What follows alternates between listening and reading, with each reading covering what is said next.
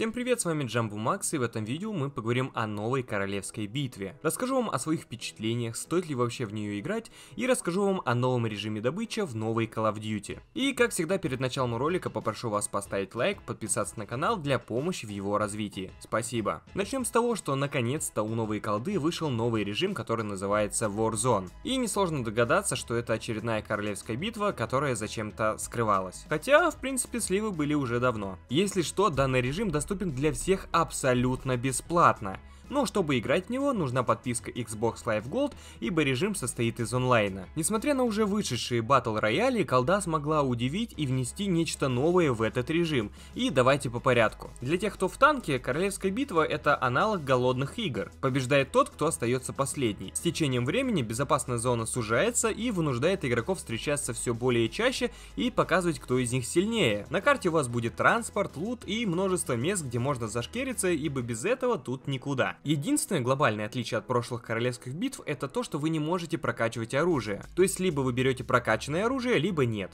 И тут нельзя, например, найти прицел или ствол. Но взамен на это есть некое новшество и помимо простого лута есть еще и деньги, с помощью которых на определенных местах вы можете купить себе либо какую-то приколюху, либо восстановить павшего соперника, который проиграл после смерти в ГУЛАГе, о нем я, кстати, тоже расскажу, или же купить уже заготовленный комплект, который вы собрали заранее. Это очень удобно и в то же время побуждает вас собирать деньги и направляться к зонам покупки. Но за счет этого появляется очень много кемперов, которые вызвали себе снайпу и сидят ждут новых клиентов на хедшоты. Также одно из глобальных нововведений касается возвращения в игру после смерти. Первый шанс вам дается за счет сражения 1 на 1 на карте ГУЛАГ. После смерти вас якобы берут в плен и вы сражаетесь с кем-то таким же убитым за шанс того, чтобы вернуться в игру. Если побеждаете, то без проблем высаживаетесь там, где и ваша команда. Если же нет, то ждите пока вас напарники смогут могут выкупить. На самом деле это сделали интересно, это не дает заскучать, но как по мне это все-таки лишний бонус. Но несмотря на это, мне он понравился,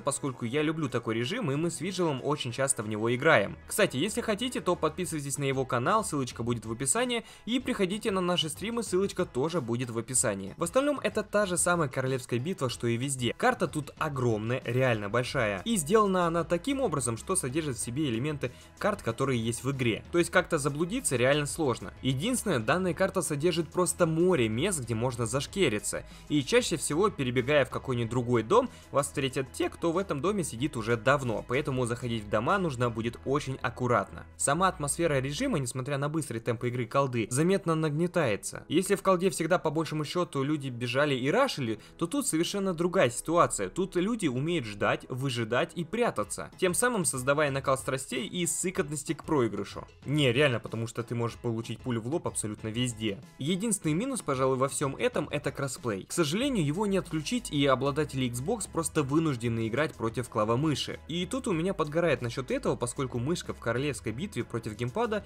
иногда дает о себе знать, особенно на дальней дистанции. И если бы при кроссплее кидали бы на тех, кто использует контроллер, но играет на ПК, то претензий бы не было. Но в данном случае кидается на клаву и мышь, что собственно сразу уменьшает шансы на победу. Это вот, пожалуй, единственный минус, который я увидел. Что касаемо темпа игры, графы и всего остального, мне кажется, они тут сделали все по уму. Даже тот же ТТК они более-менее урегулировали путем бронепластин. То есть в этот раз они сделали всего лишь три ячейки брони, то есть всего лишь три пластины, которых несложно найти. И попадаясь на команду, у всех почти равные шансы. Поскольку в том же Эпиксе мне очень сильно бесило то, что у тебя простая бронь, а у кого-то уже самая легендарная, и тут сразу понятно, кто кого сольет. Помимо этого, на карте разбросаны мини-задания, так называемые контракты. Задания будут из рода захвати зону или убей тех, кого отметят на карте. И начинается некий мини-режим приговор смерти, за который можно срубить бабло. На самом деле это весьма интересно и даже дает иногда смысл выполнить эти задания, чтобы накопить денег или узнать, где находится враг. Лично мне королевская битва новой колды зашла, но топ-1 взять крайне сложно, поскольку на карте вместо привычных 100 человек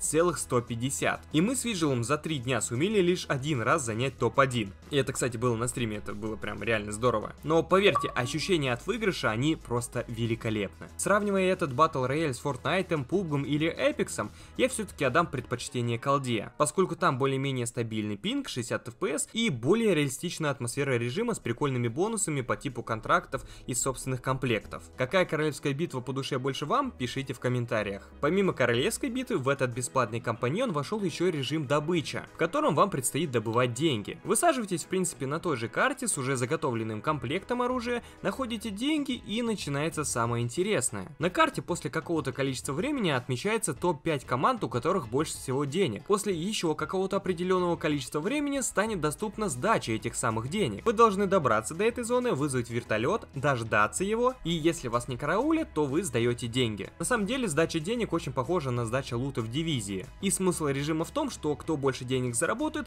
тот и победил. В этом режиме нет ограничений на жизнь, после смерти возрождаетесь и идете в бой. Режим очень динамичный, но тех, кто прячется и ждет на зоне сдачи денег, очень много, и катка простой точно не будет. И по моему мнению, колда сумела удивить, и очень круто, что она дает возможность поиграть в эти режимы совершенно бесплатно. И знаете, если у вас есть подписка Gold, то я советовал бы в нее хотя бы попробовать поиграть, поскольку режимы реально клевые и самое главное, они сделаны реально по уму. На этом в принципе все. Если понравился видос, то ставь лайк, подписывайся на канал, пиши свое мнение по поводу режимов, понравилось вам или нет, и большое спасибо за просмотр. До новых встреч!